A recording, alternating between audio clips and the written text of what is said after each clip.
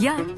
हमारी दोस्ती ना बिल्कुल पेस्ट्री जैसी है क्या मतलब जैसे जैम और क्रीम की लेयर्स है साथ वैसे हम भी जुड़े हैं एक साथ हिलाल पेस्ट्री वेरी टेस्टी